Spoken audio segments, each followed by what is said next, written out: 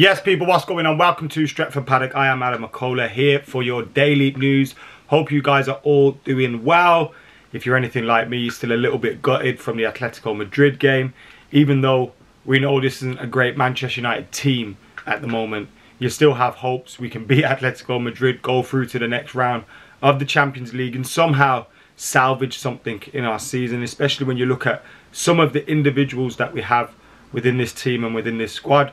Unfortunately, it wasn't meant to be, and we're dealing with the fallout from that game still till this day. So we'll be here with some of that news. Make sure you're subscribing, liking, commenting, and sharing to Stretford Paddock as well. Um, help us hit 700k or whatever the next target is as well by hitting that subscribe button. We know that most of you are already subscribed, but some of you watch the videos without subscribing. Now, we love that you get involved in the content. We love that you watch. But if you can, do us a favour and hit that subscribe button. Anyway, let's get stuck into our first piece of news today. It come from the Telegraph. It come from um, Ducker and McGrath, uh, Mike McGrath. MUFC's search for a new manager is expected to gather pace over the next few weeks, with the credentials of Erik Ten Hag and Mauricio Pochettino said to be dividing opinion among staff. Now, those are two great choices for the next Manchester United manager, in my opinion. I'm a fan of both of theirs. Um, everyone's heard me speak about Poch in the past, and I like what Ten Hag has done at Ajax. Now, you'd expect Manchester United's search to gather pace regardless of what happened in the Champions League. So, if that is true, then that is a little bit worrying. What were you doing?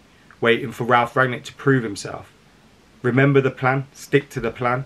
You know, Ralf Rangnick's supposed to be going in upstairs, and we're out here possibly thinking whether to make him permanent it's not what you want to be hearing. If that's true, of course. Um, and MUFC's search now is gathering pace. Look, we've got nine games left of the season. The season is done. Look, fighting for top four, that isn't where Manchester United need to be. And we're probably not going to get it anyway. We need to start looking ahead and see how we're going to right the wrongs that are at the club at the moment. That starts with making transfers. That starts with all those kind of things. So, how can you get working on that without your next manager in place? Man United need to start moving fast. Ajax were knocked out of the Champions League, so they've just got their domestic campaign to think of. Pochettino's PSG knocked out of the Champions League. They've just got their campaign to think of domestically, and they've pretty much won the league. So United, I'm sure, can start rocking a few bolts and finding out who's what and who wants to come to the Manchester United. Because neither of these do, then we need to move on and start looking elsewhere, don't we? Um, and the shortlist might have other names on it. You've heard about links to Thomas Tuchel. I like him, fan of what he's done at Chelsea. Could be another possibility if things worsen um, there at Stamford Bridge, but let's have a look anyway. Um, we also had yesterday Marcus Rashford denying making a rude gesture to Man United fan following defeat by Atletico Madrid. He admits the emotion got the better of him as he was heckled as he walked from outside the ground. Now there was talk that he had offered a Man United fan out and stuck his middle finger up at him, which then became I told the Man United fan to come and say it to my face while using that finger to look. It's all a nonsense. Um, first of all, I know Marcus Rashford's only human and all that kind of thing. He shouldn't be reacting to his own fans. But I also know it's a human reaction. Do you know what I mean? I can't really blame him for it. If there's fans outside of the ground, especially when you've just lost, you're leaving your home ground. It's not an away ground you've got your own fans giving you some, recording it as well, hoping for a reaction. I don't know, it just stinks a little bit to me. Look, I'm not a fan of some Man United players currently, um, but I wouldn't be looking to give them abuse in the streets. And I definitely wouldn't be looking to give them abuse outside Old Trafford. And like, we know most of the people queued up there probably won't get involved in that. And we know the people giving abuse will probably crumble for a selfie if Rashford was in five feet of them. So I do find it all a little bit unnecessary to be honest. But again, like Rashford should just why reply?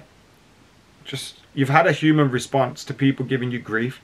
People can understand, and it just feels like PR statement after PR statement, and uh, with everyone involved at Man United, and I can see why people just go, oh, another one.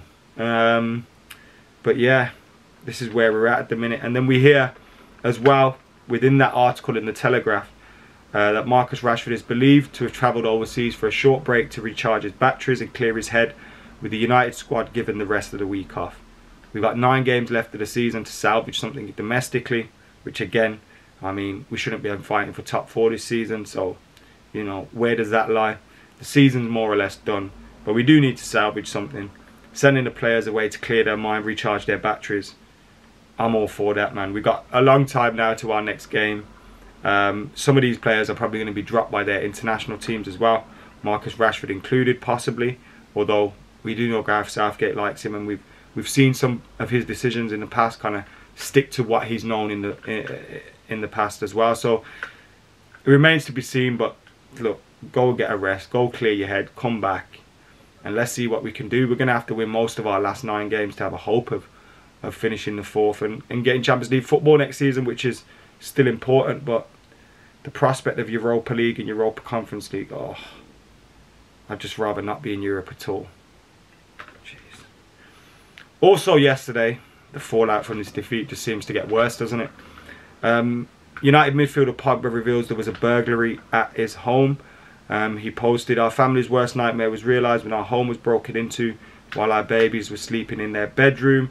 The family's nanny was at home at the time. Pogba and his wife uh, were at Old Trafford for the game and they rushed home as soon as they heard. It's not, you know, we've seen a pattern of these kind of things um, with footballers, um, you know, being, you know, having their homes burgled when, when they're at games and all those kind of things. I think Reece James, it's happened to recently, and I can think of other players as well. It's not nice, and, you know, from personal experience in the past when my house has been broken into, you kind of just hate your house a little bit after because it just feels a bit wrong and that and I can't imagine that then with having young children and stuff. So obviously hopefully Pogba and his family are all good but this isn't the kind of thing you want to hear. Um, look I think Pogba's probably going to leave anyway um, at the end of the season but this kind of thing probably just reinforces that a little bit. Although look it can happen anywhere do you know what I mean? But we saw how it can affect players um, and the, their feeling or their sense of security. Um, but yeah, I don't I don't think it'll impact that really, but I think he's off anyway. But you know, it could add to another one of those things, as well as United just being poor, things not really going right for him here, for whoever's fault that is. Um, but yeah, anyway, that's pretty much the news today. A little bit of a depressing one, in it.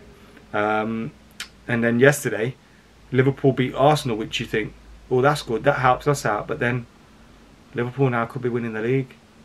Oh, I just feel sick of football. Guys, thank you for tuning in. Make sure you like liking, commenting, sharing, and subscribing.